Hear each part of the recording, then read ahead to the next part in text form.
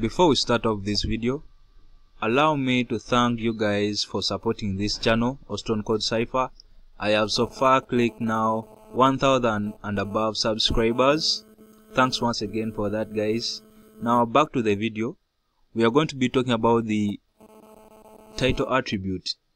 So what's the use of this title attribute? What it does it gives some extra information to an element which you never provided on a website or web page let's say it's an icon and you want a user to know what it's all about. So you have to embed that title attribute on that element. So when a user hovers over the mouse he or she is able to know what's all about. So the live example is here on youtube or any site you will go on. As you can see for more extra knowledge also these title attributes acts as the tooltip however these tooltips are user defined or user designed you design them the way you want but for a title attribute it will be the same on every web page you go on.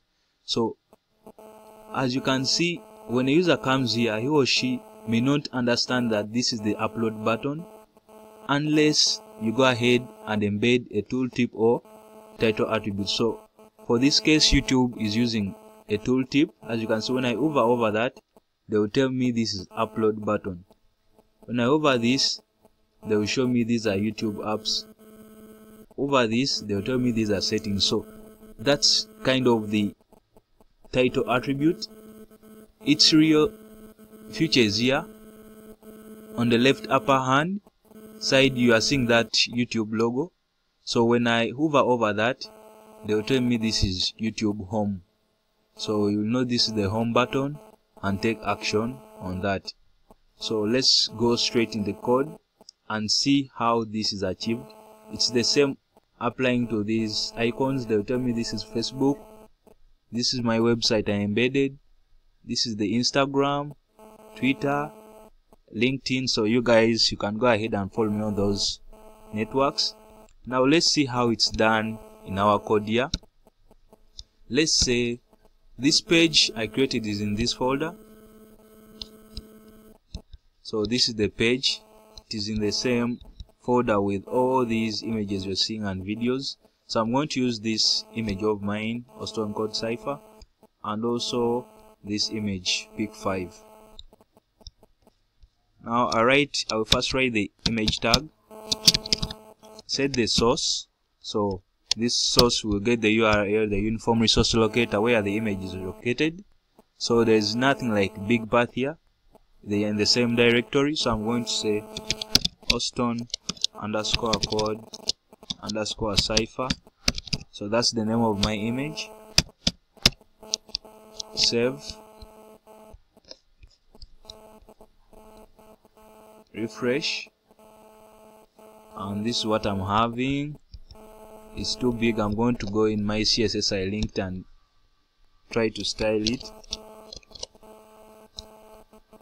Whoa not purchasing anything here. Let me kinda give it some height. I'm consuming.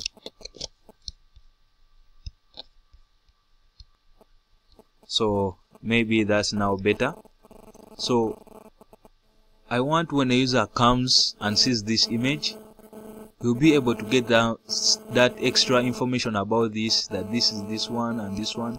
So what I have to do it's go in my code and I had this title attribute there title equals so I may write my information hey I'm I'm Oston code cypher. Save this control s on your keyboard. So when I reload so as you can see it's it has done nothing to our image. It's still the way it is. But when I bring my mouse over the image you see hey I'm Oston Code Cypher so that's how you can use this title attribute to display some extra information about your elements on a web page. Still applies let me say another image. I'm going to copy this. Paste it on a new line. I'm just going to change its type. Pick 5 and also say hey this is an iPhone. Save this and when I bring my mouse over this image they'll tell me hey this is an iPhone. So that's how you can use the title attribute on your web page. So I'm going to get rid of this. Let's say you have a form and it's to upload a file on the internet on your website. So inside this I'll put my input element input type and I'll call this file value no less a file save that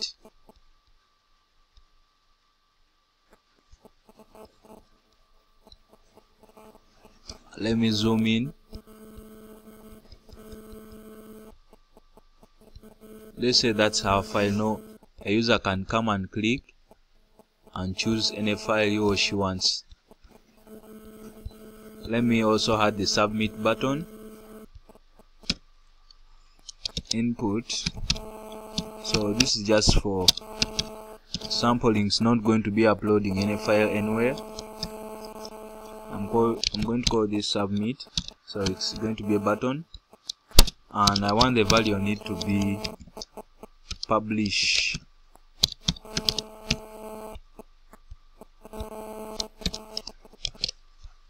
As you can see we are having our two buttons. For file as you can see it has its default title attribute and I will say no file. And this one has nothing. So we can also go ahead and customize our title attribute there. So so that it doesn't display no file chosen we can put our title attribute here. Let's say it's going to be condition we say upload only mp4 check out this. When I hover over that they will tell me upload only mp4 when I click there and select a file let me say that. So it will display the file which is going to be uploaded but I want also this one to be having some title attribute like ready to publish. I'll put also my title attribute here and say ready to publish. Stop. Let me say this is the file.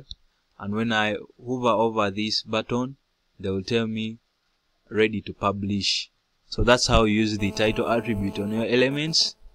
Any extra information you want to provide to an element you can use it. So thanks for watching guys. I hope you liked the video and you learned something. Please go ahead and subscribe. Hit that like button. Comment and tell me what we should do next in other tutorials. And we shall be able to solve it. Some extra more information about that also windows has the same functionality. As you can see when i place over that app it will display that tooltip. So where it's located type size date of modification.